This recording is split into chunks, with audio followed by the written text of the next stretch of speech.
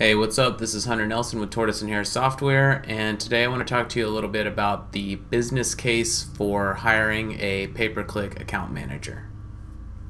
Uh, and to do that, I'm going to pop over to screen share here, and we'll actually take a look at some numbers from a real pitch that I made to a client. Um, so at this point, they were spending around 40,000. Well, actually, we were doing some annual planning, and they were anticipating their start of year budget to be around $40,000 a month in ad spend with a slow increase over the year um, towards a revenue target and a total annual spend of around $600,000.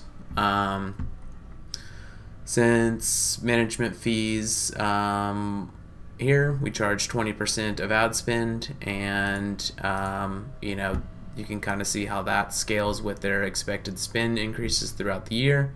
Would have resulted in a total management fee of $118,000 which is sounds like a lot. But um, when you look at what a potential pay-per-click account manager can do it's really a no-brainer um, because you know, of course, if the pay-per-click manager's uh, doing their job correctly, they're going to be helping you make more money.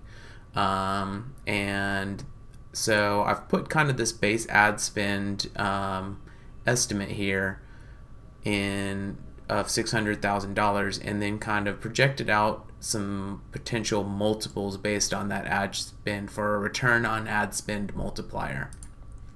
So if you spend $600,000 and you get roughly a three times return ad spend and revenue generated off of your money, you'd make around $1,800,000.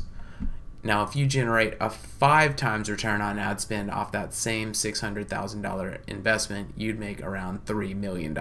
So, you know, the difference between a 3x multiple and a 5x multiple is, you know, $1.2 million.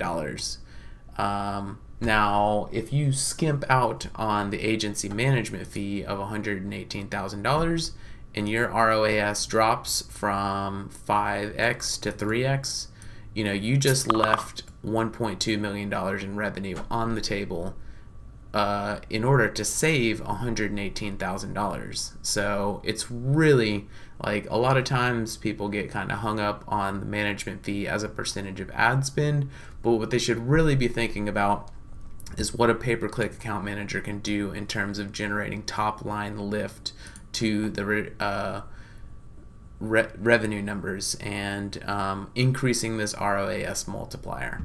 And I also just want to kind of point out too, even if you were at a 4.5 return on ad spend and increased in your pay-per-click manager was able to increase um, the base uh, ROAS multiplier from 4.5 to 5 in this situation, that would be a $300,000 top line revenue lift.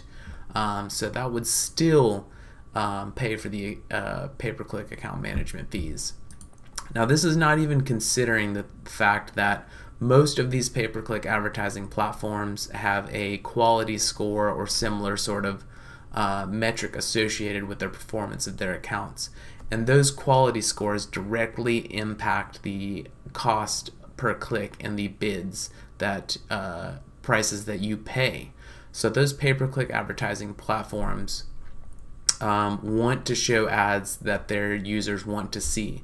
So they'll give you a discount for creating high quality ads that are entertaining and that actually convert on the platform, which is something your uh, PPC account manager can also help. So not even factored in to return on ad spend multiplier lifts is that this um, base ad spend just goes a lot further by increasing your uh, quality score metrics, uh, what, or whatever they're called on each individual platform.